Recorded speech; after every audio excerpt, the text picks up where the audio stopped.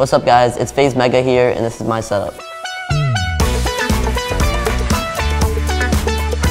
As you can see on the keyboard, my builds are Z, X, C, Q, and T. These are all my keybinds, so this is my wall, Z is my wall, this is my floor, and this is my stair, and this is my cone. So all of them are highlighted white, and then my movement mods are WASD, and just makes a sick like effect every single time I click it. A lot of people like to play slanted like this. I mean, I've tried it, it just doesn't work for me. So I have to put it like the same level as me, you know, just straight in front of me. So the keyboard is very easy to like switch colors and everything. So I go with like a blue and purple scheme, and it's just like different colors throughout. And there's just a wave of blue and then purple, so it makes it really nice.